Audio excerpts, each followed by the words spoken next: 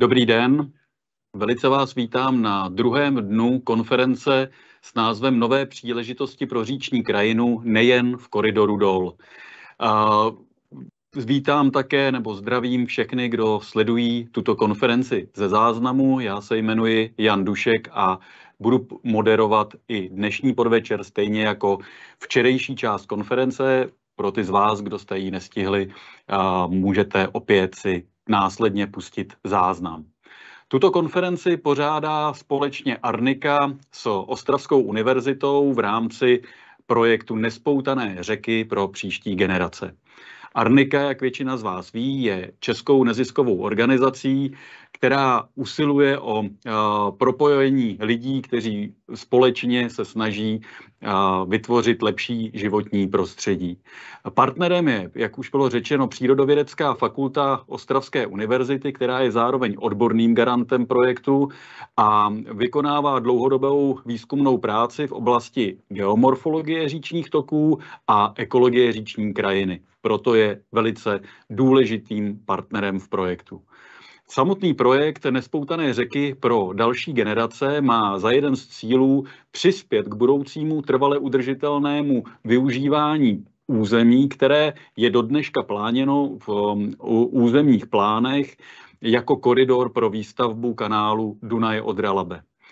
Konferenci finančně podpořil nadace Open Society Fund z fondu Active Citizens Fund a také německé ministerstvo životního prostředí prostřednictvím programu Eureny.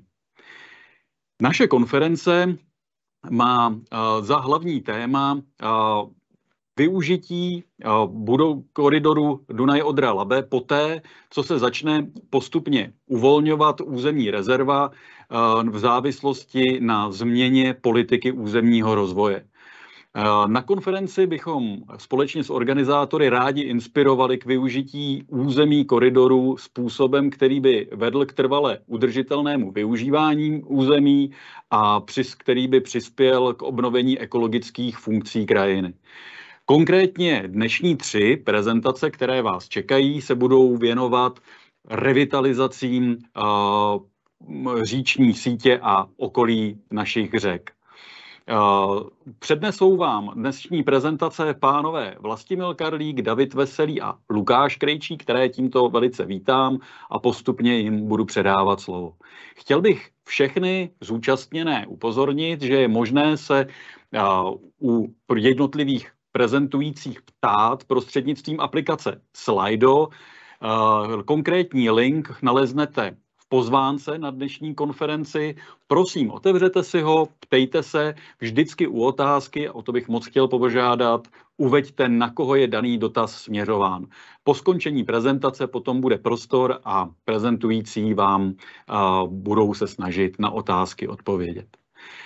První prezentaci, stručnou, ale významnou z hlediska úvodu dnešního dne, přednese Vlastík Karlík, eh, spolu, spoluzakladatel Arniky, který vám poví o revitalizacích ve vztahu k rámcové směrnici o vodách a také dalších iniciativách Evropské unie.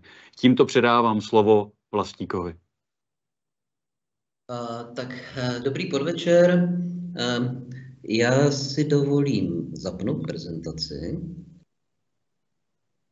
Eh, a eh, chtěl bych na úvod eh, navázat v podstatě na slova docenta Hradeckého ze včerejška, který, říká, který mluvil o tom, že pohled na řeky a říční krajinu se v čase vyvíjí a že na západ našich hranic je tento vývoj poněkud rychlejší než u nás. Ono se to promítá dokonce i do legislativy Evropské unie, a to jak eh, současně platné, tak eh, připravované. Eh, já bych na, zač- na začátek zmínil rámcovou směrnici o vodní politice, od které jsme očekávali opravdu zásadní změnu zprávy vodních toků a říčních niv. Tato směrnice měla nesmírně ambiciozní cíl a sice dosáhnout dobrého stavu všech vodních útvarů do roku 2015 eh, a s odůvodněnými výjimkami eh, do roku 2027. Zastavíme se jenom krátce. Vodní útvar, rámcová směrnice totiž neřeší jenom řeky a jezera. Jak to jsou vlastně vodní útvary povrchových vod, řeší i vody podzemní, pobřežní a ty smíšené brakické. Vodní útvar v podstatě by měl být nějak, nějak definované, definovaná, definované území, eh, kde vodní toky mají víceméně homogenní charakteristiku, tak aby se vlastně celý vodní útvar eh, dal popsat eh, soustavou nějakých, nějakých parametrů, které v rámci toho vodního útvaru jsou víceméně konstantní. Čili to může být například uh, úsek řeky mezi dvěma přehradami, uh, jedno uh, konkrétní jezero, pokud v něm ty podmínky jsou víceméně, víceméně stejnorodé. Uh, Dobrý stav je definován jednak jako ekologický, jednak jako chemický. Podstatě je vždycky odvozen od toho, jaké parametry má přírodní řeka, jezero, hm, ty další typy eh, eh, vod. Hm, čili eh, přírodní, přírodní řeka má je ve stavu vynikajícím. Toky, které jsou třeba mírně od, od, se mírně liší od, přirozené, od přírodní řeky, tak můžeme nazvat dobrými a eh, postupně eh, známe stavy střední, jako špatný a až špatný. Ty rámcová směrnice o vodách definuje, že v podstatě se pro jednotlivá povodí mají zpracovávat v šestileté periodě plány, které, které budou definovat opatření, které by měly postupně k dosažení toho dobrého stavu vést.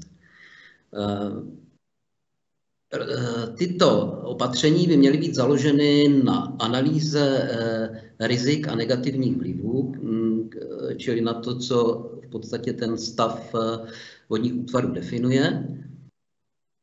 A zároveň se pokrok sleduje celou soustavou Eh, indikátorů, které jsou fyzikální, chemické, ale i biologické. Trošičku jakoby t, méně významný charakter v rámcové směrnici mají indikátory geomorfologické, čili v podstatě eh, můžeme říci například stupeň upravenosti vodních toků. Eh, nicméně i, i, v té, i v této směrnici se tyto indikátory využívají jako pomocné. Proč by nás rámcová směrnice měla zajímat? Eh, míním tím nás, eh, míním tím běžné občany, obce eh, a další, kteří nejsou přímo zodpovědní za přípravu a implementaci těchto plánů povodí. Za prvé, plány povodí představují velice cený zdroj informací o území i o těch vodních útvarech. Za druhé, celý ten proces přípravy a revize Eh, plánů povodí počítá s účastí veřejnosti, čili veřejnost má možnost eh, ty, se, tyto plány přímo ovlivnit. Je, je, může to souviset v určitých případech i s tím, že pokud například plány, které, které máte, se dostanou do těchto plánů povodí, může vám to přinést například eh, body při hodnocení vašich žádostí o dotaci. Eh, pro, eh, pro taková určitá filozofie pro dosažení toho dobrého stavu je taková, že je důležité se, se soustředit na příčiny, proč je stav vodního toku nevyhovující, nikoliv na to, abychom sledovali mm, jednotlivé indikátory a snažili se je nějak uměle eh, po jednom eh, vylepšit, eh, protože takový přístup může vést k tomu, že zlepšením jednoho indikátoru zhoršíme indikátor jiný. Čili důležité je vidět, proč vodní tok není v dobrém, v dobrém stavu a na tuto příčinu se zaměřit. Dnes už v podstatě se blíží, uh, dnes už jsme překročili ten rok 2015, kdy, kdy, ten, uh, kdy ten stav všech vodních útvarů měl být při nejmenším dobrý.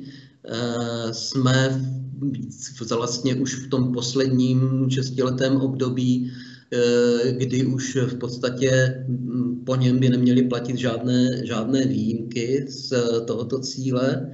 Takže už můžeme trošičku hodnotit, jak to dopadlo. Víme, že ta rámcová směrnice jednoznačně měla pozitivní dopad v tom, že e, přinesla obrovskou spoustu nových informací. Dneska daleko víme o tom, jak, ty, jak řeky a další vodní útvary vypadají, v čem je problém, jak se jejich stav vyvíjí. Podařilo se dosáhnout významné snížení především chemického znečištění. To, je, to se projevuje naprosto jednoznačně, vidíme to, vidíme to i v České republice. V České republice už nevidíme eh, fakt nebo další přínos eh, rámcové směrnice o vodách a to je vlastně zefektivnění zprávy eh, povodí, protože v podstatě v mnoha, v mnoha zemích byla ta zpráva povodí organizovaná na základě administrativních jednotek, jako jsou u nás třeba kraje. Nikoliv na základě toho principu, aby jedna instituce spravovala ehm, to, ten prostor povodí. To se změnilo a napomáhá to i tomu, že se lépe spolupracuje na, mezinárodní, na, na správě mezinárodních povodí, na řešení přeshraničních problémů, při, při, správě, při správě vod. Eh, co se projevilo mm, eh, negativně během implementace rámcové směrnice o vodách? Eh, víme, že celý ten proces zaznamenal určitá spoždění, trpěl nedostatkem financí. Výsledkem toho bylo, že v roce 2015 stále více než polovina vodních útvarů v Evropě nedosáhla dobrého stavu. Přitom v podstatě za to poslední šestileté období do roku 2021 víceméně k žádnému významnému zlepšení nedošlo. Ta implementace zůstala trošku pozadu za očekáváním tím, že nebyl důsledně uplatňován ekosystémový přístup a princip říční kontinuity.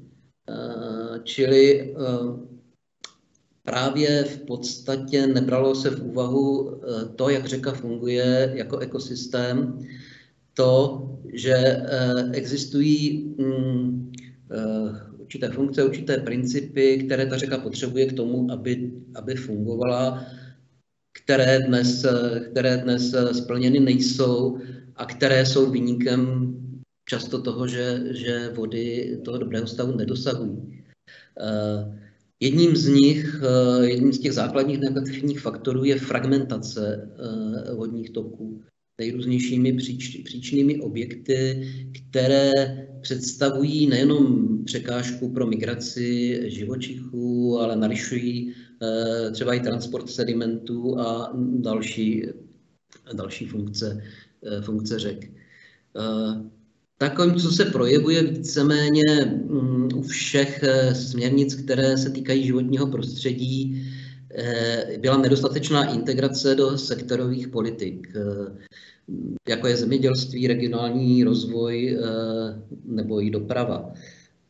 Je bohužel smutnou pravdou, že samotná ochrana přírody nebo ochrana vod ani přírodu, ani vody nezachrání, pokud eh, ostatní sektory nebudou brát ohled eh, na to, co je vlastně cílem eh, těchto strategií v oblasti životního prostředí. Je otázka, co, co tedy bude dál po roce 2027, protože už dneska víme, že rozhodně všechny, všechny vodní útvary do, roku, do konce roku 2027 toho dobrého stavu nedosáhnou. Hmm, zatím na tuto otázku není jasná odpověď. Zdá se, že nějaké, že mm, bude vlastně to, co dneska eh, ta rámcová směrnice přinesla, bude v nějaké formě pokračovat. Nadále budou připravovány plány povodí a programy opatření směřující k dosažení toho dobrého stavu, ovšem eh, zatím alespoň mi nic konkrétního eh, známo není. Evropská komise se dnes spíš soustředuje na novou iniciativu k zlepšení stavu říční sítě, která byla vyjádřena ve strategii biodiverzity do roku 2030 a dnes se postupně promítá do připravovaného zákona o obnově přírody. Této strategii je tak, jak, eh, tak jako v té rámcové směrnici o, o vodách klíčovým pojmem byl dobrý stav vodního útvaru, v mm, strategii pro biodiverzitu tím eh, klíčovým pojmem je, je říční kontinuum. Eh, ve strategii jsou dva velice, jsou eh, v podstatě dva velice, je, dva velice významné závazky. Ten, který se týká vyloženě, vyloženě řek, je obnovení volně tekoucích řek v délce 25 000 kilometrů. Jenom pro srovnání, co toto číslo znamená eh, v České republice přes existenci eh, programu životní prostředí a přes realizaci eh, desítek mm, projektů ročně jsme schopni zrevitalizovat jednotky až nižší desítky kilometrů ročně. Čili tenhle, tenhle závazek je opravdu opravdu zásadní a je možné ho splnit eh, nejenom jaksi eh, krátkými projekty na, na, na omezené ploše a omezené délce říčních toků, ale počítá se skutečně s systematickým odstraňováním eh, příčných, příčných objektů, čili té fragmentace, kterou jsem zmínil u předchozího slajdu, a jenom abychom zase měli představu, jaký jaký rozměr tento problém má, tak eh, na území Evropské unie bylo identifikováno více než milion takových příčných objektů. Samozřejmě ne všechny budou odstraněny, to, to je třeba říci, ale nicméně eh, měl by tady zase být systémový přístup, že když už odstraňujeme nějaké eh, příčné objekty na některých řekách, měli bychom jich odstranit co nejvíce, tak abychom skutečně dostali významný úsek volně tekoucí řeky, která může rozvíjet všechny svoje mm, přirozené funkce. Další, další závazek, eh, který rovněž je, je velmi ambiciozní a už se netýká jenom řek, ale mm, lesů, eh, luk a dalších, eh, dalších typů přírodních stanovišť. To je závazek, aby do roku 2030 bylo 30% plochy, a to jak na souši, tak, eh, tak na moři, mělo nějakou formu ochrany, územní ochrany. Eh, z toho 10% má mít přísnou ochranu, čili to, co, je, co známe z našich přírodních rezervací, případně národních parků. Tyto vlastně závazky se teď promítají do připravovaného zákona o obnově přírody. Je tam taky závazek zastavit negativní trendy ve vývoji populací druhů a stavu přírodních stanovišť a víceméně zastavit jejich degradaci a dokonce u třetiny z nich negativní trend změnit v pozitivní.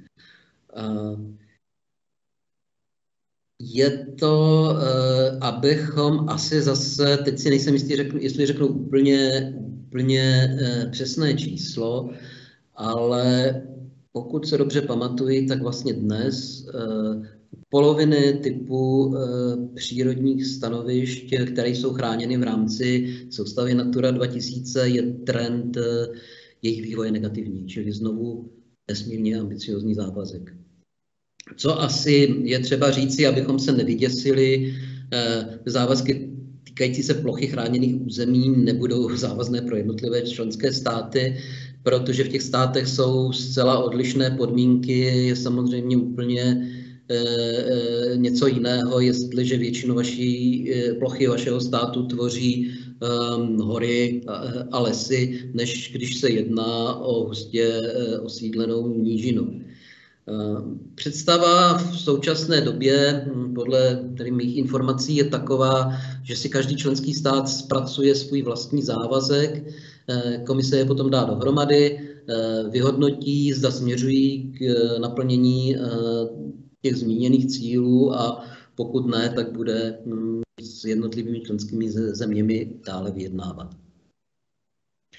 Čili hm, uvidíme, co nás čeká, jestli, hm, jestli se stav řeky a říční krajiny skutečně takto dramaticky zlepší. Mně nezbývá, než tomu držet palce. Takže to, byl, eh, to bylo ode mě všechno. Eh, já tady bych eh, zůstal, pokud se náhodou objevil nějaký dotaz. Děkuji ti uh, moc za tuto vykopávací prezentaci. Dotaz na slajdu se zatím neobjevil. Uh, prosím ještě jednou všechny, aby si uh, pokud možno tuto aplikaci zapnuli a přes odkaz, který byl uvedený v uh, pozvánce, kladli našim přednášejícím dotazy. Nicméně um, následující přednášku bude mít David Veselý. A vlastníku tebe bych se rád zeptal. David je jedním ze zástupců správců povodí, jakožto dlouhodobá opora podniku povodí Moravy v oblasti právě těchto moderních ochranářských trendů. Jak ty vlastníku vidíš dlouhodobý trend spolupráce se správci toků a to ne, nemyslím jenom podniky povodí, ale například ty lesy České republiky, jestli tam vidíš nějaký trend a jestli to není třeba to pozitivum, které nás v uplynulém desetiletí nebo dvaceti letech potkalo a které by mohlo být nějakým příslibem. Ano, pozitivní můžu být. Eh, vidím, že se proměňuje v podstatě povědomí celé společnosti o tom, co je pro eh, říční krajinu dobré a co je, co je pro řeky dobré. Eh, je to trošičku, já jsem to mm, před asi třemi, třemi lety zhrnul takovým, jakoby, jak, jak se proměňuje postoj správců vodních toků. Já jsem to zhrnul jakoby takovou mm, trošku nadsázkou, že se z aktivního od, odporu mění v pasivní rezistenci. Eh, za ty další tři roky můžu říct, že už se i ta pasivní rezistence mnohdy, mnohde, ne všude a ne vždycky, eh, proměňuje i, řekněme, v aktivní spolupráci. Takže, Díky moc. Takže tohle, tohle bych asi odpověděl. Díky. Díky za pozitivní zprávu na závěr a tímto předávám eh, slovo Davidovi Veselému, který je jedním z těch, kterým vděčíme za to, že se tyto věci postupně mění. Ale abych příliš nechválil, Davide, prosím o prezentaci a poté bude snad prostor na dotazy, které eh, naši účastníci pošlou přes slajdo. Tak, dobrý večer, dobré odpoledne, večer ještě nemáme, ještě nám svítí slunce. Já teda poprosím, jestli se tam dá zapnout ta má prezentace, měla by u vás být někde v prostoru. Mám ji nazdílenou? Ne, už to vidím, sdílet. Tak, už ji sdílím, krása. Takže eh, doufám, že už vidíte moji prezentaci, takže ještě jednou vás zdravím. Mým ano, úkolem vidíme. je krása. Ještě se zeptám, vidíte i moji myšku, jak tam běhá? Vidíte, že jo? Vidíme, vidíme i kurzor. Ano. Takže to vám budu moc i ukazovat. Pustím si čas. Tak, takže mým úkolem je vás seznámit s revitalizacemi současnosti. Eh, jsou to všechno akce, které pokud nebude uvedeno jinak, eh, provedl jeden z pěti správců v České republice, v, této, v tomto případě podnik Povodí Moravy, státní podnik, a z velké části jsou spolufinancované, kofinancované z operačního programu životních prostředí. V takovém případě tam vždycky také u obrázku se objeví logo. Tak pojďme hned k první, k první kapitole. Eh, tady máme titulek od napojení odstavených ramen eh, a dole je taková mapka, eh, kde vidíme ten koridor Dunaj Odra Labe, takže v tom červeném čtverci je ten úsek řeky Moravy, kde ten morfologický typ právě hraje k tomu, aby jsme tady, pokud ten koridor otevřeme, Eh, jeho zlepšení dosahovali právě díky odstaveným ramenům, protože je to původně meandrující tok, který byl takto napřímen. Bohužel z řeky Moravy si moc příkladu nevezmeme, přestože když se podíváme na tuhle leteckou mapu, tak tady vidíme jak na české, tak na slovenské straně množství, množství vlastně odseknutých ramen. Nemáme ještě zkušenosti s jejich napojováním, ale můžeme se podívat hned kousek vedle, a to na přítok Moravy na řeku uh, Dii, kde ta situace je o něco dál, kde se už ten program napojování ramen poměrně intenzivně rozjel. Vidíme tedy na leteckém snímku, jak ty ramena vypadají. Minimálně z velké části jsou zazemněné. Tady k tomu přispělo i poměrně nešťastné historické napojení přes dva Beneše, které naopak tu situaci zhoršovalo. Když se podíváme na další obrázek, vidíme rameno na české straně. Ty ramena jsou 50 let stará, jsou z roku 1970 odpojené, eh, takže vidíme vlastně rameno před asi třemi roky, než jsme na něm začali pracovat. Eh, v podstatě rameno v takové poslední fázi svého života už se nám oddělují jednotlivé vodní plochy, to rameno se velmi rychle blíží k nějaké terestrické fázi. A tady vidíme, co se stane, pokud provedeme revitalizační projekt. Tady vidíme to stejné první rameno, které jsme viděli, jak je zcela průtočné. Eh, díky tomu, že jsme sem vložili jakýsi objekt, který eh, výraznou část průtoku žene ramenem a ten tvar je symbolický, je to takové nové srdce, které jsme dali řece. Eh, když se podíváme na další, tak vidíme to, na minulém snímku úplně suché rameno, které se nám teďka takhle krásně zaplnilo vodou. Toto není ani nějaká jednoletá povodeň, tady jsme na nějakém úrovni třeba Q60, 30 denní, to znamená běžné roční průtoky už takhle zcela vlastně ten prostor zaplňují a e, propojují takovou středovou tůň, kterou jsme zde vytvořili. E, tady vidíme jinou možnost napojení odstaveného ramene. Eh, tady je teda původní Moravy, protože se spolu podílelo na tom projektu, ale je to rameno realizované s rakouskými kolegy. Ty předchozí jsme dělali my i pro rakouské kolegy, my se tak střídáme.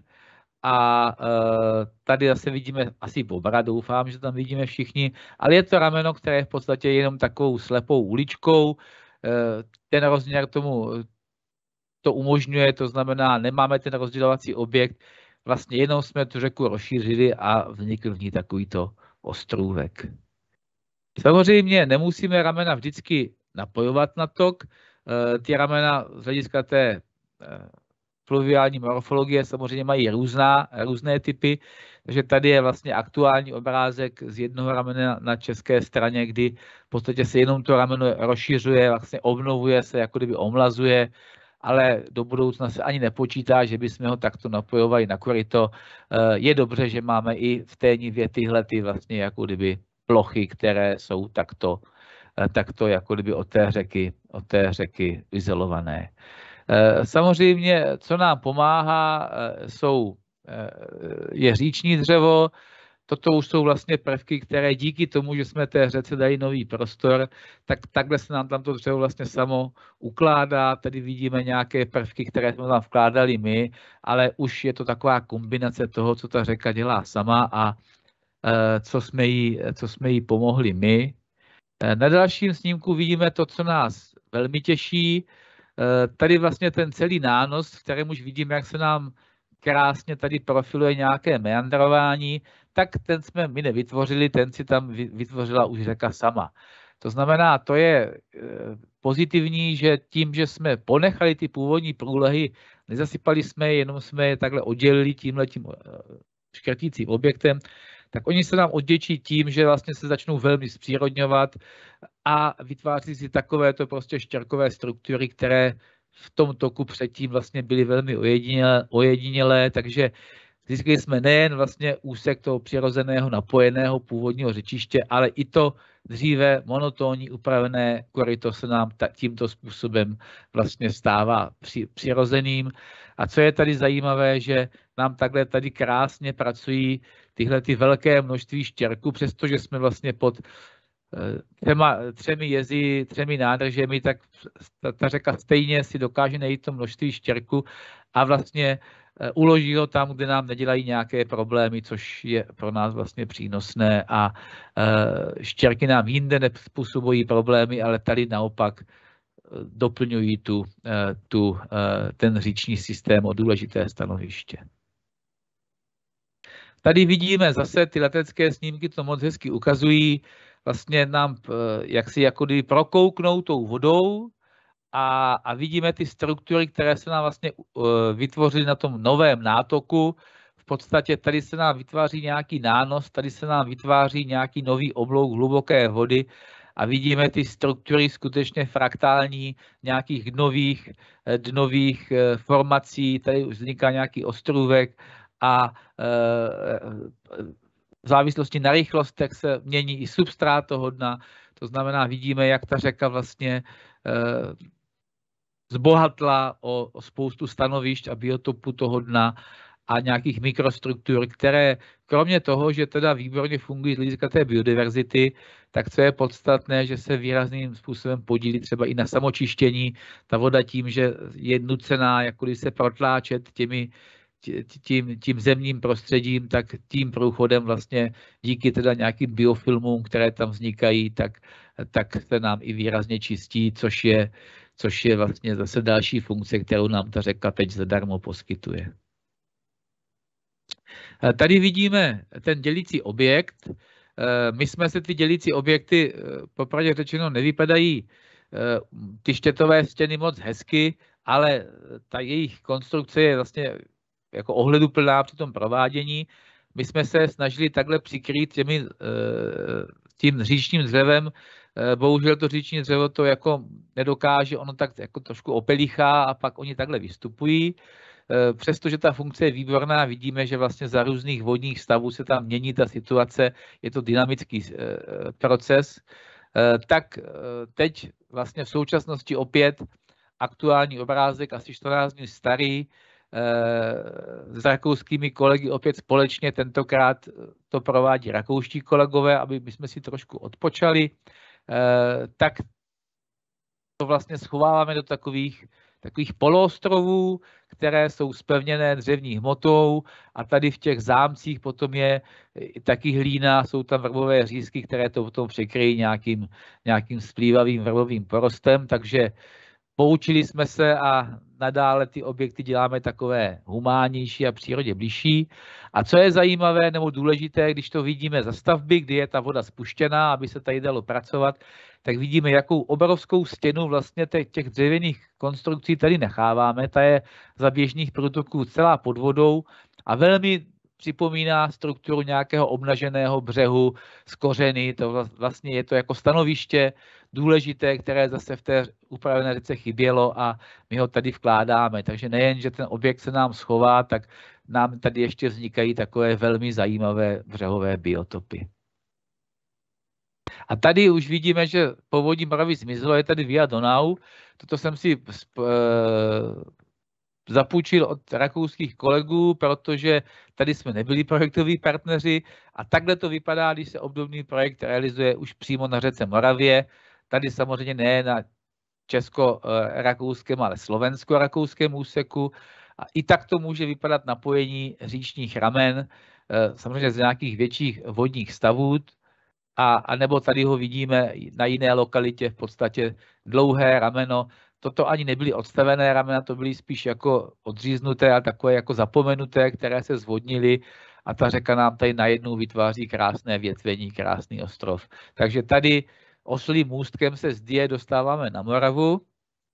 A když se podíváme na tuhle tu mapičku, to je mapa eh, z projektu Danube Floodplain, který řešil Dunajskou nivu.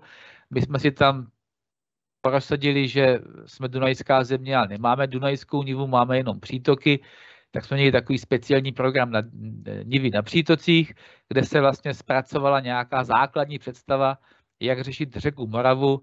Samozřejmě se to neobejde bez nějakého dílčího odsouvání těch současných hrází, ale tady vlastně vidíme ty všechny různobarevné čtverečky i kolečka jsou vlastně takové obdobné dělící objekty, jako jsme viděli na DI a trošku nám tady splývají ty modré čáry, které ukazují ty původní ramena moravní, které jsou zpátky napojené. A co je podstatné, že tak ten potenciál tady na tomto úseku při napojení těchto ramen získáme nových dva nebo obnovených 22 km toku Moravy, což si myslím, že není zanedbatelné. Takže ve chvíli, kdy tu Moravu uvolníme z, toho, z té kurately plavby a budeme ji moct vracet tam, kam patří, to znamená do přirozeného meandrování a do nějaké dynamické nivy, tak jsme schopni na tomto úseku, jenom na tom československém úseku Moravy vrátit, vrátit 22 km řeky zpátky do systému. Tady se podíváme zase, tady jsme se přesunuli na řeku Bečvu, to znamená na štěrkonosné toky, to jsou zase toky jiného typu, které také jsou tím koridorem momentálně eh, jako kdyby zabrány, tak se podíváme trošku jiné řešení eh, řeky štěrkonosné. Eh, tam ani tak nemůžeme napojovat nějaké staré ramena, ale tam skutečně se musíme snažit o to, té řece poskytnout nový a výrazně širší říční koridor. Štěrkonosné toky se nám běžně pohybují ve 300 metrových šířkách. 300 metrů už jim nevrátíme, ale musíme dát maximum. To bychom museli bovat některé obce a města. A tady vidíme, jak se nám řeka vlastně předvedla za původě v roce 1997, kdy ta energie v těch upravených úsecích byla tak rychlá, že vlastně si sama začala rvát a vytvářet si ten svůj říční koridor, tu sekundární nivu, ale ona není tak, ani tak sekundární, ona je na té úrovni, kde byla. My jsme spíš tu nivu vlastně dlouhodobě historicky zaváželi. Ty štěrkonosné toky tou svou strukturou, takovou vějířovitou jsou se velmi lehce, jako kdyby salámovou metodou prostě uřezávali, až zbyl tady jenom ten uzounký koridor upravené řeky. A takhle ta, ta řeka vyvinula vlastně asi po 20 letech. Eh, eh, v podstatě už vypadá jako přirozená, některé věci zarůstají, ale i v těchto úsecích nedále docházelo k zahlubování a bylo jasné, že ta energie řeky to vlastně nedokázala na, na úsecích dostatečně dlouhých k tomu, aby se nám stabilizoval štěrkový systém řeky. Přistoupili jsme proto k vlastně k pokusu napodobit tu řeku a vytvořit široký říční koridor lidskou činností. Tady vidíme eh, řeku Bečvu v úseku, kde nezafungovala přirozená renaturace, pořád v tom úzkém korytě vlastně staženou do toho prismatického lichoběžníku. A tady už vidíme začátek projektu. Eh, co si musíme eh, říct jasně, eh, je to, řekl bych, trošku jako kdyby proti, protimluv, ale bohužel revitalizační projekty, zejména při otvírání říčního koridoru, se neobejdou bez masivního kácení. Ty řeky prostě jsou sevřené v těch porostech a aby jsme jim dali prostor, musíme i kácet ale ponecháváme maximum stromů, co je možné a samozřejmě ty stromy potom z velké části používáme jako nějaké říční dřevo v té struktuře řeky. Tady vlastně vidíme ty vykácené porosty, nějaký obnažený, obnažený, obnaženou zeminu. Pro představu, a ono je to zkreslující, tady v podstatě je to na výšku člověka, to je ta, to je ta mocnost toho materiálu, který jsme sem za léta navozili a který, pokud chceme ten říční koridor otevřít u štěrkonosného toku, tak tuhle tu mocnost materiálu prostě musíme té řece odstranit, aby jsme ji otevřeli dostatečně širokou plochu štěrku, kde ona už si dokáže vytvořit tu vlastní samostatnou nebo stabilní nebo dynamickou rovnováhu.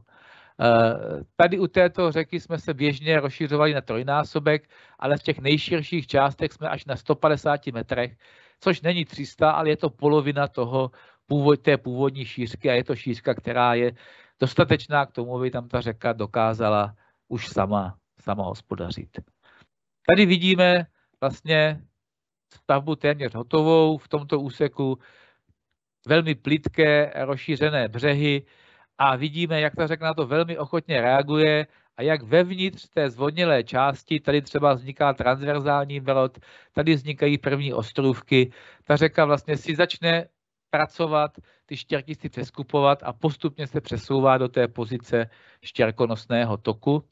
Tady vidíme, že jsme jí ještě trošku pomohli tím, že jsme sem vložili takové balvanité, balvanité struktury, které trošku napodobují tu, tu větvenou strukturu řeky, Třeba tento nános, to už není naše práce, ten už si řeka vytvořila sama, tady vlastně vzniká boční rameno, na to navazuje ten transverzální brod. To už je to hřiště, které jsme řece dali a ona si s ním dál pracuje.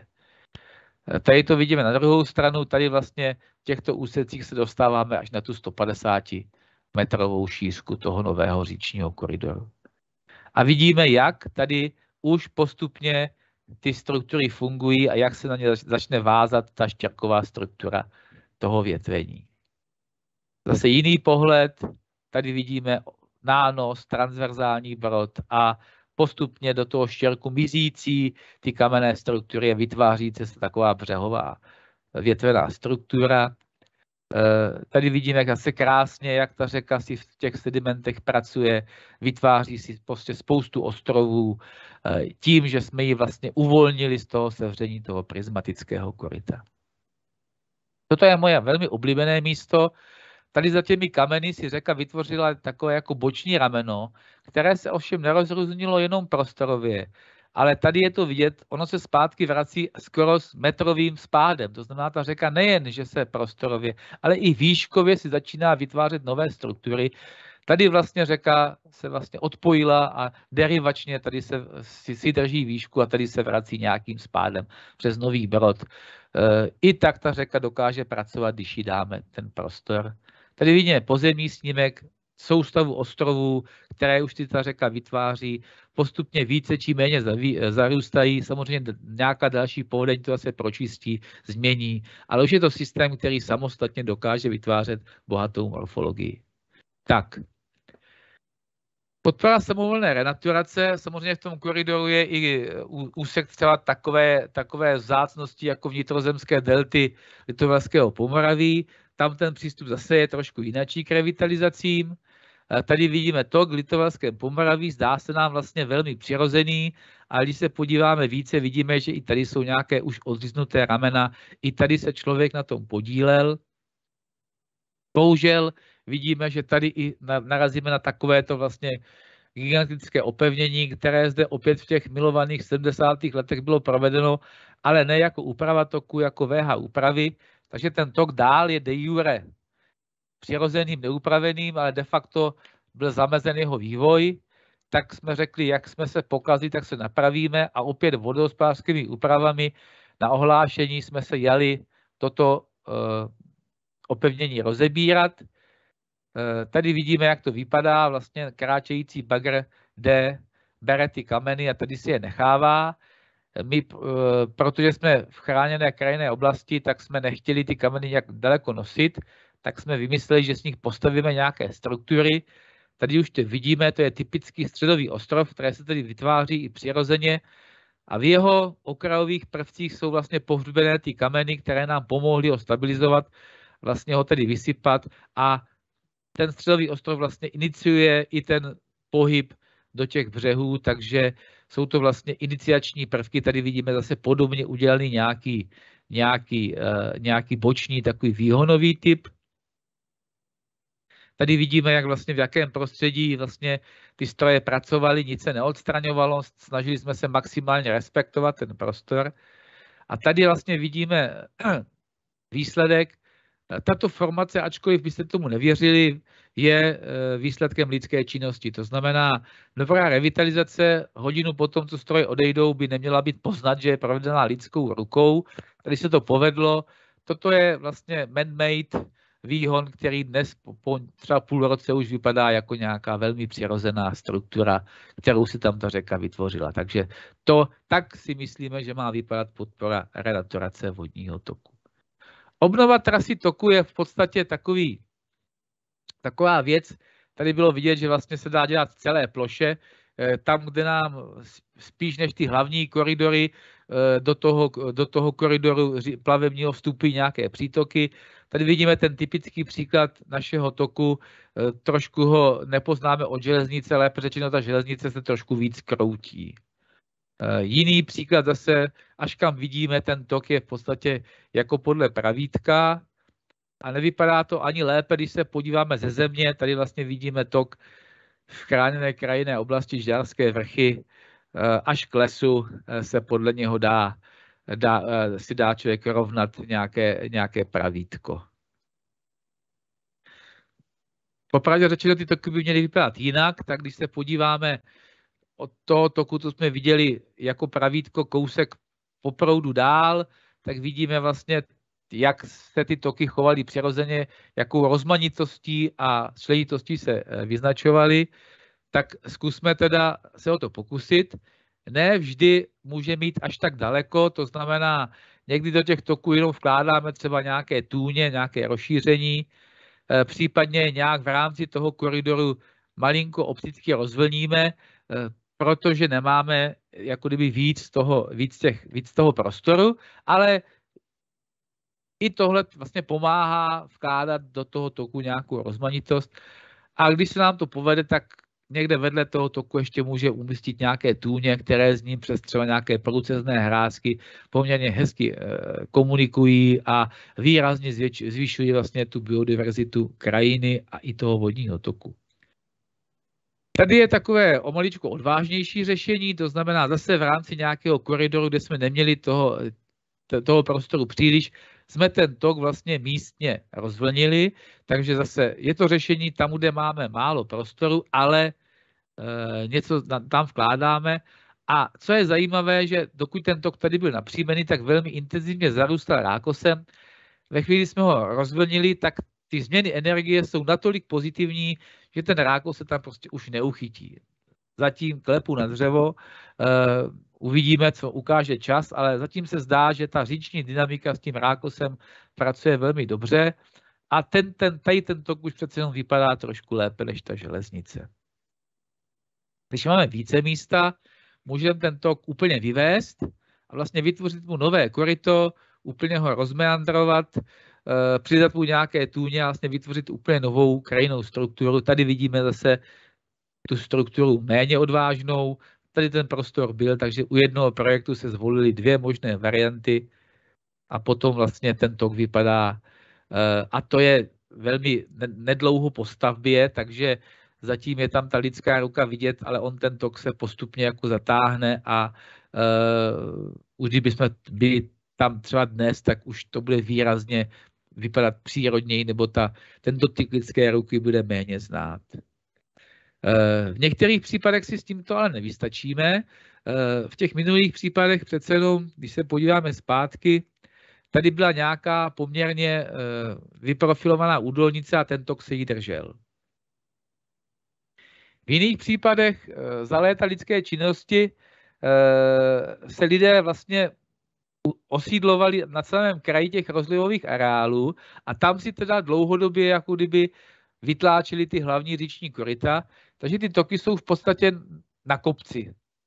A ve chvíli, kdy je chceme uvolnit, tak jim vlastně ten terén musíme maličko snížit a vytvořit takové vlastně nové, nové říční terasy, v kterých ten tok, v kterých ten tok vlastně jako kdyby mu vytváříme novou, novou trasu.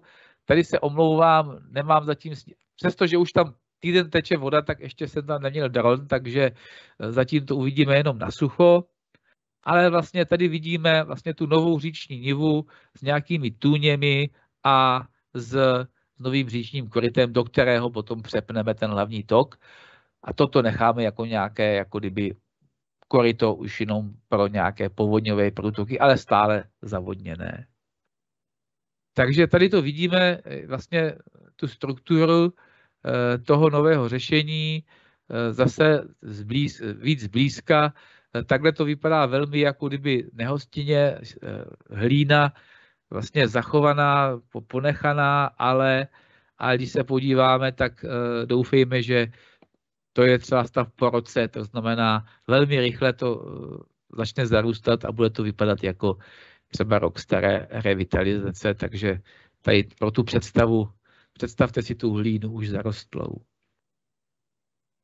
Tady vidíme úplně takový nový typ a to je řešení ve chvíli, kdy zjistíme, že vlastně nám v katastrálních mapách a zejména v majetku správce vlastně zůstalo tu původní meandrující koryto, které jsme někdy opět v nějakých milých 70. nebo jiných letech podle pravidka napřímili. A v té chvíli není nic jednoduššího, než to koryto v té jeho původní trase znovu vykopat, a díky tomu tady dosáhneme takovýchto vlastně ostrohů velikých zatáček a díky tomu vlastně to koryto se nám takhle nově krásně může rozvlnit a to jsme vlastně ještě v místech, kde je to takové jako kdyby málo se vlnící, jsou tam úseky více vlnivé, ale zase toto je snímek starý 14 dnů. Dnes jsem dostal informace, že už jsou zase o další skoro 600 metrů dál a tam teda jdem skutečně starým korytem. Takže tady vlastně nám to dává možnost tu řeku vracet do původního koryta a, a v podstatě máme velmi e, volné ruce, protože se pohybujeme na pozemcích z toku a moc se vlastně nemusíme hádat s nějakými zemědělci nebo pobřežníky. Poslední, a myslím, že jsem zcela v čase, eh, tak posledním řešením je obnova vodního režimu. To znamená, tady jsme se bavili o vodních tocích, eh, o jejich změnách jejich trasy, o jejich koridoru, ale my vlastně musíme uvažovat i o tom, že v některých případech bychom měli vracet celým plochám ten vodní režim, protože teprve pokud pracujeme v ploše, tak, tak se nám násobí ta schopnost vody komunikovat Eh, komunikovat vlastně s tím zemním prostředím a znásobujeme ten přechod mezi tou povrchovou vodou a podzemní vodou, který je samozřejmě velmi důležitý eh, z hlediska zachování nebo uchování vody, protože není lépe schovaná voda než podzemí. Takže pohled na eh, naší krajinu, někdo tomu říká zemědělská poušť, to znamená Eh, pole, pole, pole. Eh, a tady zase vidíme ten typický příklad. Tady vidíme vodní tok a tady vidíme železnici. Možná, kdybychom přimouřili oči, tak se nám to i splete. A tady vidíme řeku Dii, takže to není řešení přímo na řece, ale je to řešení vlastně v její nivě za pomocí nějakého jejího přítoku. To znamená, přímo vlastně v tom, v tom vlastním říčním koridoru můžeme někde v plochách přítoků udělat poměrně velmi jako účinné a přínosné projekty. Eh, takže eh, když se podíváme na další snímek, tady to vidíme z druhé strany, takže tady vidíme, ten přítok se jmenuje Baštínský potok, vidíme ten typický stav tok ve vysokých hrázích, zarůstající totálně rákosem. A tady vlastně přes nějaký dělící objekt, dělící objekt se vrací nebo vtéká do die a za povodní se to tady všechno zavře a otevře se to toto stavidlo a tímto korytem to teče někam až k obci, kde to komplikovaně čerpací stanice musí přečerpávat zpátky do die. Vodohospodářsky nepříliš šťastné řešení, ale co je šťastné, že tohle, tohleto celé pole bylo obecní. Eh, s obcemi se dobře jedná, takže nás to inspirovalo k tomu, aby jsme tady začali vymýšlet nějaký projekt. A tady už vlastně vidíme tu optimistickou situaci, stavební buňka, eh, firma nám tady nastupuje, vidíme, že v nějakém pásu už zemědělec ani neoral, chystá se nám tady nějaké, nějaké řešení. Tady vidíme to, co si musíme uvědomit, pokud začínáme takovéto projekty, neuděláme je lžičkou na kafe, jsou to fakt jako masivní zemní práce, nevypadá to moc hezky, vypadá to spíše jako bojiště, ale prostě takhle to je. A e, tady nám začíná vznikat nějaká nová struktura, začínáme přetvářet tu krajinu, začínáme dělat opatření, aby jsme mohli změnit nejenom ten vodní tok, ale vodní režim celé této lokality, která nám vlastně Eh, vytváří takový přirozený polderový prostor mezi železnicí, Baštínským potokem a řekou Dí. Proč ho nevyužít? Takhle jsme hotoví hned vlastně těsně po dokončení prací, tady nám ještě stojí stroj, vidíme nové koryto, která se nám tady krásně eh, motá, vidíme, že už máme jenom jednu hráz, jedna hráz nám zmizla, nebo nám tady někde vytváří takové hrůdy, takové vyvýšeniny, v, které, v kterých jsme schovali veškerý materiál, protože vyrovnaná bilance zemin je věc, která výrazně slevňuje projekty. Tady vidíme nějakou tůň a tady vidíme, že v té celé ploše zakládáme nějaké oplocenky a tady vlastně vzniká nový lužní les, je jeho 20 hektarů. Takže tady je založená plocha 20 hektarů lužního lesa, eh, který nám v budoucnu bude umožňovat využívat jinak dynamicky ten vodní režim tohoto území. Hned po stavbě si říkáme, to je ale taková pustina, jestli jsme to nějak špatně jako neby nenavrhli, ono to nevypadá tak hezky, jak jsme si mysleli. Naštěstí řeka a příroda je hodná a do měsíce vám to takto naplní vodou a ukáže vám, že ten váš plán nebyl špatný. Toto je stav, který na tom baštinském potoku vzniká řádově 30 až 60 dnů v roce podle toho, jak je vodný rok, ale je to vlastně stav za běžných 30 až 60 denních průtoků. A tady vidíme krásně, jak nám vzrůstá už hezkých 20 hektarů lužního lesa. Tady máme vynachaný travní pás, vysoké napětí, eh, to jsou věci, které prostě musíme nějakým způsobem respektovat, ale v podstatě i ta tráva tady má nějakou dobrou funkci. A tady to vidíme zase za jiné, trošku jiné povodně, a vidíme opět, jak to máme naplněné vodou, tuň se nám spojila, lužní les nám povyrostl. A co je důležité, že v této chvíli je zavřené stavidlo do die a otevřené stavidlo do toho, na, na tu čerpací stanici, ale v tomto profilu neotéká ani vteřinový litr vody. Přestože nám přitýká poměrně zvýšený průtok baštinským potokem, tak tahle ta plocha v téhle podobě je schopna vlastně zachytit veškerou vodu přitékajícího baštinského potoka a infiltrovat ji do krajiny. To znamená, tohleto území dokáže vlastně zachytit a schovat na horší časy, které na Jižní Moravě nejsou neobvyklé, vlastně významné průtoky, takže vlastně této chvíli máme nulový otok, veškerou vodu schováváme do krajiny. Takže to je takový důkaz místo slibu, že vlastně i takto poměrně, nechci říct malé, ale vlastně projekty v měřítku nějaké přirozené struktury vodního toku fungují. A co je podstatné, zatím ne, ale ve chvíli nám tento lužní les povyroste tak, aby jsme ho mohli zatopit, tak my můžeme vlastně zapovodně otevřít, změnit manipulaci, otevřít toto stavidlo, tento celý prostor naplnit vodou a pokud se dostaneme jenom metr vody, tak v té ploše, když si to spočítáme, tak je to 200 až 300 tisíc zachycené vody, která opět nám tady bude zasakovat, bude nám vstupovat do nějaké evapotranspirace, doplňovat tu vodní bilanci atmosféry, která je tady taky důležitá. Takže takhle tahle ta lokalita funguje. Zase ve chvíli, kdy eh, můžeme pracovat s tím blízkým okolím řeky, tak můžeme vytvářet takovéto projekty. A tady vlastně takový poslední pohled, jak potom ta krajina vypadá, Eh, je to z dronu, ale kdyby jsme stáli tady na tom hroudu, tak ten pohled do té krajiny je velmi podobný. Vidíme vlastně krajinu, která se nám zcela plní vodou. Eh, když ta voda upadne, tak se nám tady začínají vytvářet poměrně takové jako kdyby zasolené lokality a zdá se, že tady budou místně vznikat i slaniska, které jsou pro tuto lokalitu typické. Už tady máme identifikované některé ty holofilní rostliny, takže eh, vlastně poměrně na malém území se dá udělat jako obrovský kus práce a, a vložit vlastně spoustu biotopů a stanovišť, které v té krajině jinak chybí. A tímto posledním hezkým obrázkem děkuji za pozornost a pokud budou nějaké dotazy, tak na ně samozřejmě tůze rád odpovím. Já moc děkuji za prezentaci a za nádherné příklady toho, jak postavit přírodu protože myslím si, že tyhle příklady budou ještě dlouho využívány pro uh, i další části, nejenom v České republice. Uh, máme dva dotazy, uh, takže děkuji účastníkům, že kladou dotazy do aplikace Slido a prosím o to i všechny další, kteří, který, kteří by se ještě rádi na něco zeptali. První dotaz se týká výuky na vysokých školách.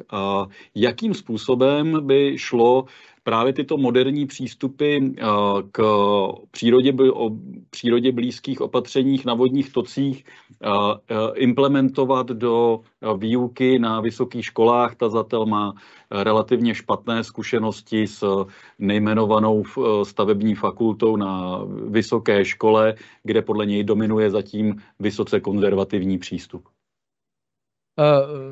Já bych se nerad pouštěl do své alma mater, takže budu pozitivní. A to, že funguje poměrně dobrá spolupráce třeba tady s Brněnskou vysokou školou, e, kdy každoročně, pokud nám to nezhatí covid, děláme exkurze. Byli jsme jak na těch ramenech, které jsme viděli, tak letos třeba na tom posledním příkladu Novosedel. Myslím si, že vidět to v tom prostoru je vlastně pro ty studenty největší inspirace. Můžu říct, že teď mě jeden bývalý student, s kterým jsem se potkal na konferenci, se přiznal, že pod impresí těch odstavených ramen začal pracovat jako ekolog na jiném podniku povodí, takže tady si myslím, že ten, že ten impact je veliký a co poradit vysokým školám, potřeba se otevřít prostě teorii evropské a vyměnit ty staré šedé skripta za anglicky napsané komunikace a obecně, dokud nezačneme na vysokých školách standardně mluvit anglicky, jako druhým běžným jazykem, tak budeme ten to spoždění těžko, těžko dobíhat. Takže, takže ano, a, a říkám to i tady, pokud jakákoliv akademická půda má zájem a máme čas, tak jsme ochotní je vzít do terénu a myslím si, že vidět to face to face v té realitě je největší inspirace, která pak Eh, přes všechno, co se na té škole naučili či nenaučili, ty lidi posouvá k tomu, aby se potom v tomto směru třeba dozdělávali. Díky moc. A druhý dotaz se týká, je více technický a týká se hodnocení eh, ekologického stavu vodních útvarů. Eh, jestli podle tvého názoru je, není už přežitý princip, kdy, kdy pakliže jeden parametr hodnocený nevyhovuje, tak potom není možné eh, celkový ekologický stav eh, hodnotit jako dobrý. To znamená, jedna špatná položka, všechno špatně, jestli tento stav eh, nebo toto hodnocení není již přežité. Tento dotaz klade pan kolega Stránský z, vole, z vodního hospodářství. No, velmi se to nabízí a je pravda, že uh, to značným způsobem zkresluje zkresluje jako kdyby dosažené. To znamená, eh, pokud jsme měli to, který měl pět špatných ukazatelů a my jsme čtyři zlepšili, tak to vlastně pořád jako kdyby není vidět, protože, protože nám to ten jeden jako kdyby brzdí, takže jako spoustu zlepšení může zůstat pod povrchem. Zároveň bych byl opatrný, protože to může vést k tomu, že si řekneme tak, máme čtyři dobře, tak ten jeden vlastně už není důležitý. A pokud si třeba vezmeme, že to říční kontinuum nebo migrační prostupnost je jedním z ukazatelů, který zásadním způsobem jako kdyby zhazuje to hodnocení, tak si řekneme otevřeně jako sebelepší řeky, pokud tam nedochází k té komunikaci těch jednotlivých dílčích rybníků mezi jezy, tak je, je, je těžké. To znamená, Eh, myslím si, že úplně opustit to, že jeden hatí vše je špatně, ale zároveň by bylo dobré mít jakýsi jako kdyby takový meziukazatel, jako, jako ještě jsme nedostali dobrého stavu, ale, ale dostali jsme prostě nějakého, nějakého zlepšení, jako kdyby, jako kdyby kolik jsme z toho ukrojili, ale to, to, je, to je jako na debatu, eh, říkám, dva pohledy, jednak nám to zkresluje ty výsledky, které jsme dokázali, ale zároveň to neumožňuje prostě se na něco úplně vykašlat, což uh, si řekněme otevřeně v českém prostředí taky není úplně vyloučená záležitost. Díky moc Takže tak. Za, za tento návod, jak interpretovat uh, výsledky hodnocení. Uh, žádný další dotaz nyní nemáme, takže bych Davidovi Veselému velice poděkoval za všechny účastníky a pozval bych eh, k prezentaci třetího přednášejícího, kterým je Lukáš Krejčí z, ze společnosti Envicoms, a, eh, a který nám také představí některá realizovaná opatření v krajině. Lukáši, je to vaše. Tak já, já jsem před chvíličkou doběhl, jenom se tam slyšíte mě, vidíte mě? Uh, slyšíme vás, vidíme vaší prezentaci. Já se snažím ještě zapnout video. Tak. Teď mě vidíte, slyšíte? Slyšíme vás stále. Uh, kameru vaší ještě nevidíme. Dobře, tak já... Uh, Zkusme to teda zatím jenom s prezentací. Dobře, tak. Taky, uh, jestli můžeme spustit prezentaci, protože teďka už ji nevidíme. Já ji mám spuštěnou, teda vy ji nevidíte. Ne, teďka, předtím jsme viděli, takže nějak sdílení lépe propojit. Zkuste prosím nazdílet znovu. Tak. Dobře, já to zkusím. Tak. Tak. Už vidíme? Ano. Můžeme Perfektní. přejít Ty do... jsi maximalizoval? Vidíte ji? Ano, můžeme přejít do prezentačního módu. Perfektní. Uh, já jsem byl tedy požádán, abych tady nějakým způsobem prezentoval adaptační opatření v Nivě nebo v říční krajině mimo uh, revitalizační opatření, který tady prezentoval můj předřečník David Veselý. Uh, já jsem teda ze takové malé soukromé produkční firmy s tím, že naše firma má zhruba 15 let a když jsem do té firmy nastoupil, tak to gro našich opatření nebo našich projektů byla protipovodňová ochrana, revitalizace a nějaký třeba drobnější krajinný úpravy. A jak se ten čas vyvíjel, tak se naše firma významným způsobem posunula právě směrem k jednak adaptačním opatřením ve volné krajině a pak samozřejmě i k adaptačním opatřením v intravilánech. Typicky vlastně projektujeme i modrozelenou infrastrukturu. My jsme řešili, nebo řešíme projekt RESAO, což je v podstatě takový projekt na adaptační opatření pro Pardubický kraj a my jsme tam prováděli takové rozsáhlé analýzy pro celé území a zjistili jsme, že skutečně území, který má největší adaptační potenciál, čili tam, kde můžeme reálně něco zlepšit, něco dělat, jsou jednak... Jestli můžu poprosit, moc se omlouvám, my Ano. vidíme stále jenom úvodní slide eh, bez spuštěné prezentace. Dobře, Jestli, když normálně, tak, jestli spustíte celou prezentaci, tak, tak, teďka vidíme druhý slide. Teď, já když teda spustím prezentaci, ano, do prezentačního modu, tak, tak se Ano. vrátí v podstatě zpátky. Teď vidíte druhý slide nebo první slide? Eh, druhý slide. Dobře. Tak eh, ta území, který má největší potenciál, jsou jednak intenzivně obhospodařovaný zemědělský krajiny, kde skutečně ten velký potenciál ke zlepšení je. A potom eh, jsme zjistili, že to jsou jednoznačně poříšní nivy. My jsme s těma nivama pracovali, my jsme je vymezili, dávali jsme tam vlastně nějaký modelový opatření a tak, a tak dál. Eh, S těma nivama pracujeme formou, že se snažíme eh, ne realizovat a projektovat jedno konkrétní opatření nebo jedno opatření s konkrétním, s konkrétním cílem, ale snažíme se, aby ty opatření fungovala skutečně, já to řeknu blbě moderně, ale prostě eh, multidisciplinárně, aby ty přínosy byly co největší. No a Jestli můžu k tomu, poprosit, že- ano. Máme nejspíš spuštěnou prezentaci. Vy sdílíte prezentaci, ale my vidíme ta je vlastně neprezentační mód, takže jestli můžete se přesunout do něj a tam překlikávat mezi jednotlivými obrázky. Teď jsme na, stále na druhém slajdu, a aby jsme dobře. se tam potom posouvali. Děkuji moc krát. Dobře, není, není za času, stejně na tom druhém slajdu. A vzhledem k tomu, že eh, jsme firma, která, které skutečně jde o eh, realizace, že se snažíme projektovat věci nebo projektovat opatření, které skutečně by se měly stavět, tak eh, jako největší úskalí samozřejmě vnímáme majetkoprávní vztahy nebo majetkoprávní poměry v nivách nebo obecně v říční krajině. Pokud bychom se teda bavili o nějakém přesahu na územní rezervu kanálu Dunaj Odra Labe, tak by to znamenalo výrazný zjednodušení třeba projednávání, pokud by tahle ta eh, rezerva byla využitelná třeba pro nějaký přírodě eh, blížší opatření.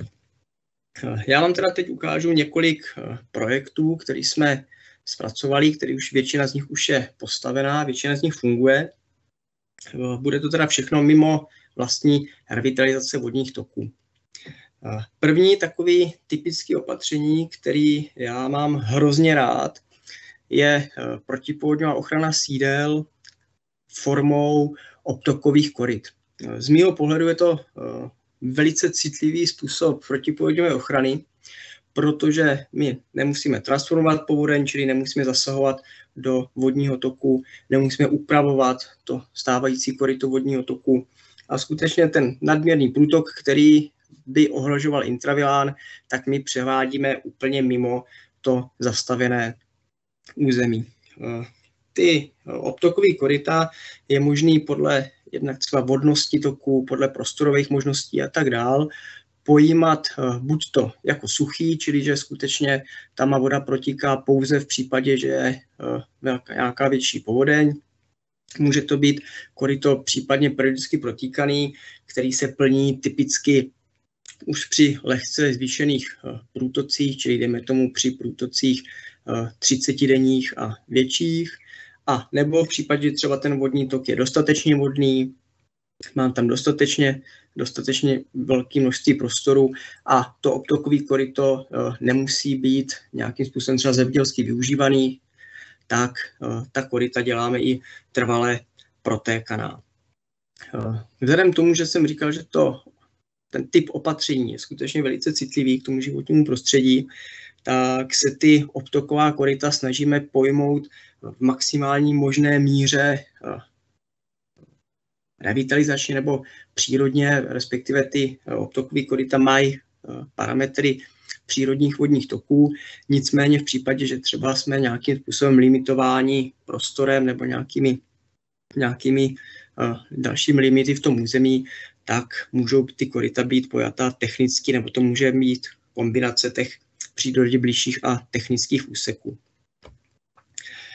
Tak, eh, první projekt, který jsme eh, realizovali, tak je eh, projekt protipovodně ochrany obce Písečná. Je to Písečná nedaleko Žamberka a tam nebo tím daným územím protíká vodní tok potočnice, už takový poměrně eh, velký potok, eh, stoletá voda, si představte zhruba 30 eh, kubíků, čili je to skutečně nějaký větší potůček. A tahle ta obec měla velice často problém s povodněmi. Jo, my jsme začali pracovat třeba, dejme tomu někdy v roce 2016 a než se to opatření realizovalo, čili než bylo hotové, tak tam skutečně proběhlo třeba pět, šest větších povodní.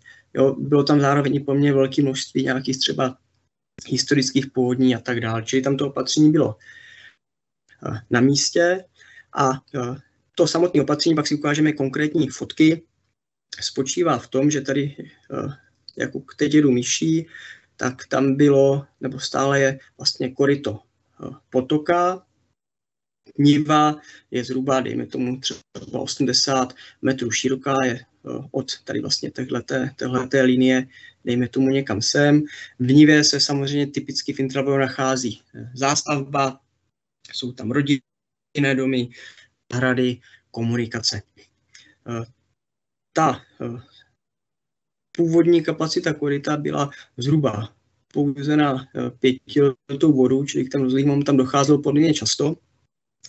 A e, v podstatě nebylo možné to koryto konkrétní enletý průtok zkapacitnit, nebylo ho kam rozšířit, protože těsně podél e, potoka vedla silnice, na druhé straně byly zahrady se zástavbou, e, v celém povodí už byly vystavěny nějaké suché nádrže, nicméně ty se neukázaly jako dostatečně efektivní, čili tam bylo potřeba ještě navrhnout nebo donavrhnout nějaké opatření v intravilánu a bylo tam navrženo právě obtokové koryto, který odbočovalo tady na horním okraji, vedlo při pravým okraji Nivy a vracelo se do koryta potočnice až úplně dole pod zástavbou. Takhle byl tenhle ten úsek je dlouhý, dejme tomu tři čtvrtě kilometrů, s tím, že celý intravilán je v podstatě delší a i na horním konci bylo realizováno podobné opatření. Nicméně tady ten dolní konec, ten dolní konec, ten je víc ilustrační. Tak, eh, když to vezmeme eh, od horního okraje, tak to je tady, jak, jak, jak teď jedu myší, já jsem teď překlikl eh, slide, zatím se nic neděje, tak tady na té pravé fotografii, tak z levého okraje fotografie přitíká vlastně koryto potočnice a původně vedlo pouze tady do toho eh, levého mostu a teklo pak dál, dál do obce. Eh, hned na horním okraji vlastně tady toho řešeného území nebo toho problematického úseku vlastně bylo navrženo koryto, který odvede nadměrnou část průtoku směrem do té pravobřežní, pravobřežní nívy. Na levým horním obrázku máte pohled na právě už ten to paralelní koryto nebo to odlehčovací koryto. Vidíte, že tam byl vytvořen takový poměrně mělký průleh, je to téměř u pravé paty eh, nivy nebo pravé paty údolního svahu. Byl tam vytvořen mělký průleh a v tom mělkém průlehu, pak to bude doufám vidět na, na dalších fotografiích, bylo vytvořeno eh, poměrně mělké meandrující koryto. Na pravé, na levé dolní fotografii je vlastně brod. Ten brod je trošku vyvýšen.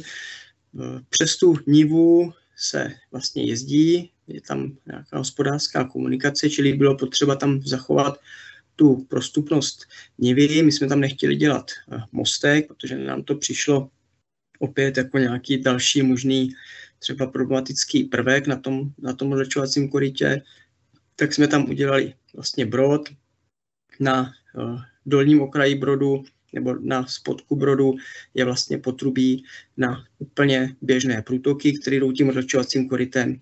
Když je povodeň, tak se vlastně voda rozlévá do celé šíře toho průlohu a přes celou šíři toho brodu. Eh, jak jsem říkal, eh, my se snažíme to koryto, nebo ta koryta, nebo ta opatření dělat v maximální možné míře přírodě blízce, čili teď jsme eh, téměř už na dolním okraji toho odlehčovacího koryta, čili uh, tam už to dostalo takový trošku mokřadní charakter. Tohle to je, dejme tomu, lehce zvýšený průtok, že to meandrující koryto už se v podstatě rozlévá do té své vlastní nívy, do toho, do toho širokého průlevu. Uh, jen po dobu realizace, která trvala zhruba rok, tak tam proběhla jedna poměrně, uh, nebo jedna taková středně velká povodeň, tu vidíte, nebo stav těsně po té původní vidíte na eh, fotografii vpravo. Čili už tehdy to opatření fungovalo velice pěkně. Jo, to už, tam už opadá voda, jakmile opadne, tak vlastně tam vidíte to už to, pak, eh, to meandrující korítko. A stav po eh, realizaci vlastně máte vpravo, jak, jak to už nějakým způsobem si trošku upravila ta povodeň a zhruba rok poté už je celý ten eh, průleh nebo to odlehčovací koryto zataženo vegetací, je tam prostě vidět to malé meandrující korítko. Eh, tady máte několik eh, fotografií z fungování toho paralelního koryta, to je třeba, dejme tomu, tuším, rok 2020, zhruba 20-letá povodeň. Vidíte, že ten průleh je v podstatě v celé šíři zaplněn vodou. Vpravo vidíte, jak funguje ten brod. Vlastně ten je přelíván v celé své šířce. Vlevo dole je vlastně nátok do toho odlehčovacího koryta. Vlevo je ten vlastně původní mostek. Tady vpravo eh, vidíte vlastně nátok do toho odlehčovacího koryta. Tohle je pak dolní okraj, vpravo dole je pak dolní okraj toho řešení úseku, kde už se ta voda z odlehčovacího koryta zase vrací do koryta potočnice. Jo, tam prostě už se nějak spojují ty inundace z toho odlehčovacího koryta a z koryta potočnice. Tak, eh, tohle je zrovna opatření, který my jsme zhruba před rokem nebo před dvěma lety přihlásili vlastně do adaptéry. Eh, ono neuspělo, ale eh, z mého pohledu tam je spoustu aspektů, které nebyly dostatečně z naší strany prezentovány. Já to opatření považuji za velice dobré, za v podstatě jednoduché, jak stavebně, tak technicky. V podstatě ani nebylo až tak drahý, a e, tady vidíte, my jsme to nechali v podstatě pak nalítat dronem, aby jsme měli nějaký pěkný referenční obrázky a vlastně tady vidíte pěkně zleva to současný koryto potočnice, doprava vlastně odbočuje to odlehčení a vidíte, že prostě to území je velice pěkně zapojený, zapadá to tady dole, se vlastně vytvořil takový mokřádek, funguje to tam velice pěkně.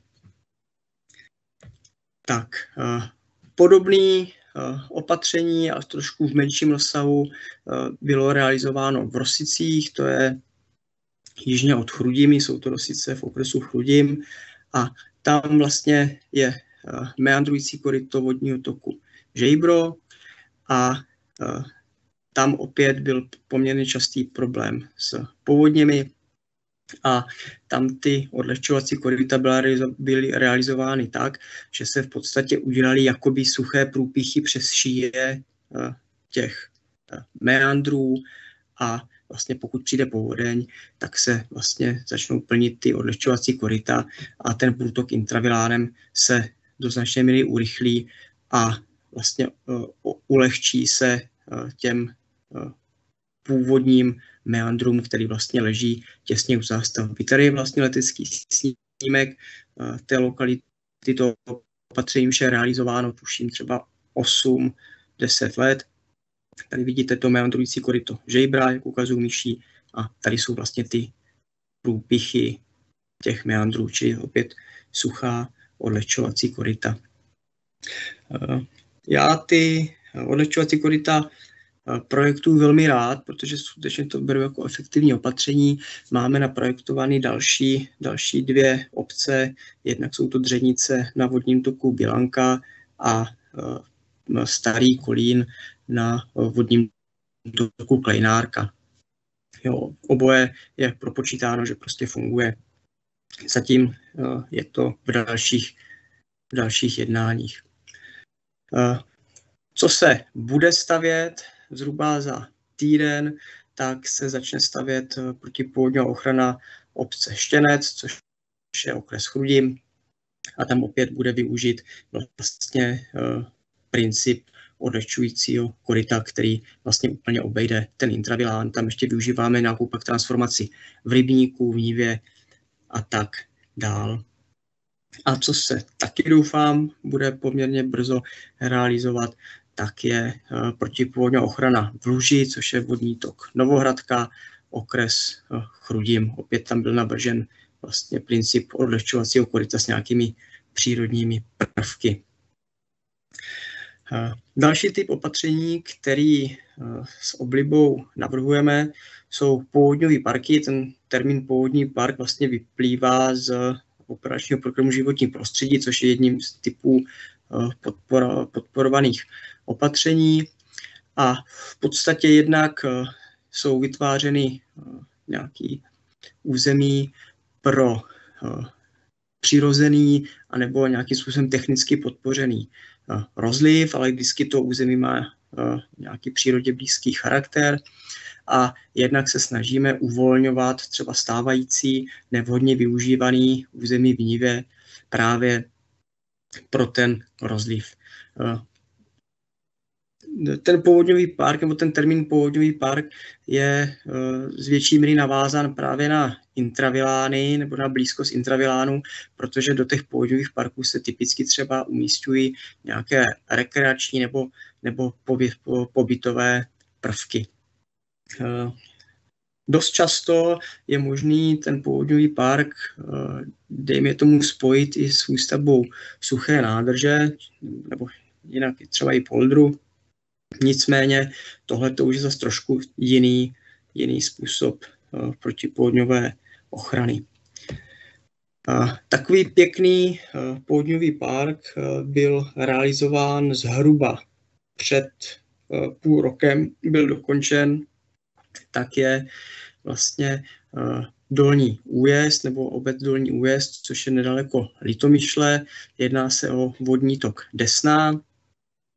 A Tady eh, byl ten povodňový park eh, navržen primárně z důvodu protipovodňové ochrany eh, území, kterou tady ukazují myší při pravým okraji Nivy, vlastně desná teče zleva doprava, jak máme zástavba. A tam bylo to specifikum, že to to desné bylo vlastně historicky, historickými úpravy, úpravami natlačeno na levý levou patu budolního svahu. stalo se tam ta věc, o které mluvil David Veselý, že to korito se vlastně svou vlastní agradací nacelilo nad Nivu, čili tam, pokud byly nějaký povodně nebo zvětšený průtoky, tak v podstatě to korito se přeplnilo zaplnilo a pak vlastně ta voda tekla z korita do nivy v podstatě ze, ze všech směrů, čili tam opět byl poměrně velký problém s povodněmi. A tam to opatření spočívá v tom, opět si myslím, že bylo velice jednoduchý, že se tam udělala taková rozsáhlá, dejme tomu, revitalizace nivy s nějakou tou přidanou hodnotou té rekreace, to si ještě ukážeme. A potom tam byl udělán velice uh, subtilní, my jsme to nazvali retenční vál, to je tady v této zhruba střední části toho výkresu. A ten retenční vál spočíval v tom, že se tam skutečně udělal takový zhruba metr, maximálně v nejvyšším městě metra půl, vysoký val s pozvolnými svahy a ten nám vlastně uzavřel to vyvýšený koryto. Ten val ne, nejde úrovňově nad břehovou hranu koryta Desné a vlastně on nám uzavřel vlastně tu nívu, že pokud se vlastně zaplnila ta níva tady, tak se vlastně tady vytvořila taková rozsáhlá inundace, ale ta voda stejně z tohoto území otékala vlastně korytem Desné. Tak, eh, tady je celkový pohled eh, na tu lokalitu. Tady je ta největší vodní plocha, která vyplývala z toho eh, výkresu, čili vznikla tam v podstatě taková úplně komplexní revitalizace nivy s mokřadními prvky, Opět jsme tam využili i eh, ten princip eh, nějakého eh, paralelního korítka. Bylo tam navrženo, vlastně byla tam navržena síť stezek pro nějaké rekreační využití, byla tam naučná stezka instalována, bylo tam instalováno broukoviště, plazník, prostě byly tam nějaké eh, prvky přidané hodnoty pro biodiverzitu a tady prostě opět vidíte, to opatření bylo fakt dokončeno, tuším, někdy na jaře letošního roku, tak prostě uh, už vidíte, že to, ta niva začala prostě krásně fungovat, jsou tady mokřadní prvky, je to tam prostě krásně uh, všechno podmáčený, tůně se poměrně pěkně periodicky plní, Jo, třeba i tady, tady tahle ta poměrně velká tůň. Tady máte na té pravé fotografii právě to uh, paralelní koryto, který jsme tam taky nějakým způsobem navrhli. Uh, podobně uh, řešený Žiželice, což je obec na řece Cidlině, opět ve východních Čechách. A tam pro to území povodňového parku, já už spěchat, já už vidím čas, tak tam pro to území toho původního parku bylo navrženo nebo bylo využito eh, trasy historického náhoru, poměrně velkého. A v tom náhoru bylo vytvořený drobný eh, meandrující eh, korytko s retenčními prostory, s, dejme tomu opět, s nějakou přidanou hodnotou uh, rekreace, případně vlastně uh, estetiky a biodiverzity. Jo, čili proběhla tam v podstatě takováhle nějaká revitalizace starého velkého náhodu do, podobě, do podoby přírodě blízkého toku. Uh, akce, která se bude, nebo akce tohoto typu, která se bude brzy realizovat, tak bude povodňový park na soutoku Rokytky a Říčanského potoka v Praze to je vlastně uh, východní okraj Prahy, Praha Běchovice a tady vlastně z uh, leva tady přitíká vlastně uh, Říčanský potok, uprostřed je Rokytka, tady zprava Běchovický potok a vlastně na soutoku tady těch třech vodních toků proběhne celkový snížení terénu, bude tam vymodelována taková jakoby eh, vnitrozemská delta a opět prostě bude tam síť pěšinek, vegetační úpravy a nějaký pobytový, pobytový prvky. Poslední eh, typ opatření, který už je trošku techničtější, ale opět se, se ho snažíme pojímat maximální možné míře revitalizační nebo přírodě blízce, jsou suché nádrže a poldry. Ono se to dost často tyhle ty termíny eh, zaměňují.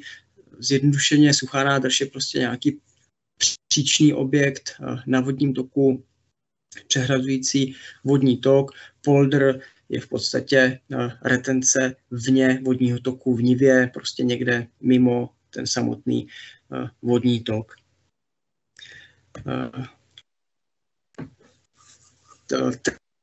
Tyhle ty typy opatření ještě nemáme realizovaný, máme nějaké hotové projekty, ale ještě nic nedošlo do realizace. Tyhle ty opatření ale velice dobře fungují, protože ty poldry v podstatě nemají takový negativní dopad na vodní tok jako suchý nádrže, který ten vodní tok přehrazují, hlavně z hlediska, dejme tomu, migrace a splavinového režimu.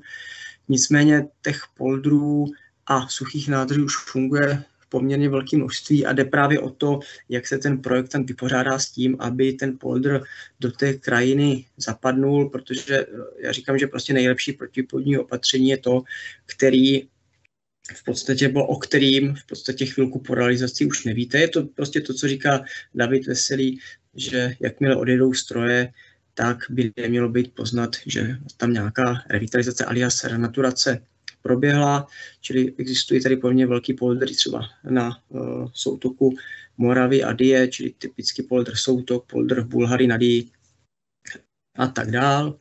Uh, uvažuje se o poldru Skalička, nakonec to teda bude poldr, čili boční nádrž v levobřežní nivě řeky Bečvy. No a potom tady uh, na fotografiích máte poldr Žichlínek, což je poměrně velká suchá nádrž na eh, Moravské Sázavě, kousek od Lančkrone, kousek pod Lančkronem. Tam opět prostě proběhla poměrně rozsáhlá revitalizace celého území, čili nejenom koryta vodního toku, ale eh, i celé nivy. Tady máte letecký, ta akce byla dokončena v roce 2007, tady máte aktuálně letecký snímek, který v podstatě, když si odmyslíte tu hráz, která vede vlastně po pravé straně fotografie, tak tam vidíte v podstatě přirozenou eh, říční krajinu. Vlevo máte zcela antropogenně revitalizovaný koryto Moravské sázavy, čili to koryto Moravské sázavy se přesunulo do člověkem vymodelovaného koryta, ale v podstatě po nějakých deseti letech už máte pocit, že jste na úplně přirozeným vodním vodním toku.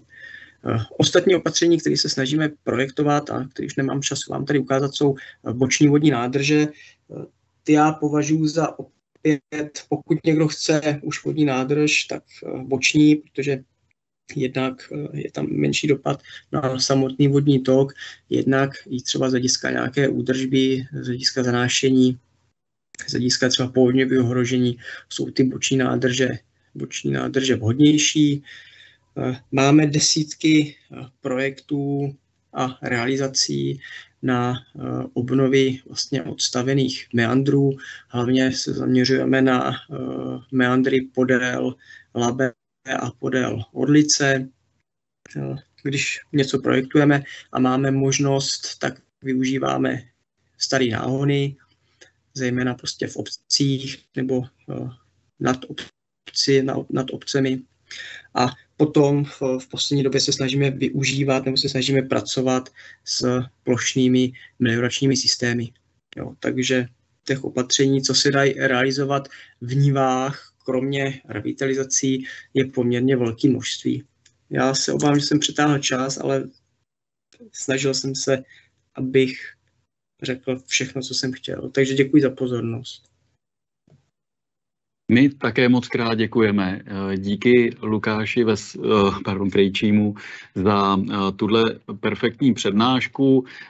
Omlouváme se za průvodní mírné technické problémy.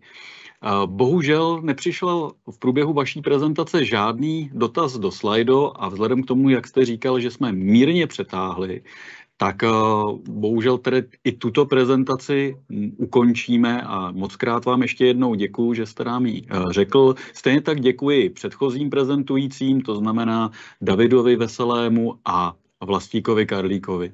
Děkuji hlavně vám všem, eh, kdo jste se dnešního noční konference zúčastnili, případně kdo jste se zúčastnili obou dvou dnů. A připomínám, že záznam z obou dvou dnů bude následně vyvěšen, bude k dispozici, bude vám zaslán odkaz mailem a budeme velice rádi, pakliže bude možné tento záznam dále šířit, aby se tyto prezentace dostaly k co nejširšímu okruhu lidí a, a aby vzdělání v rámci revitalizací a udržitelného využívání říčních niv a vodních toků bylo dále šířeno. Na závěr mi dovolte schrnout, že poprosím ještě kolegu Krejčího o ukončení prezentace.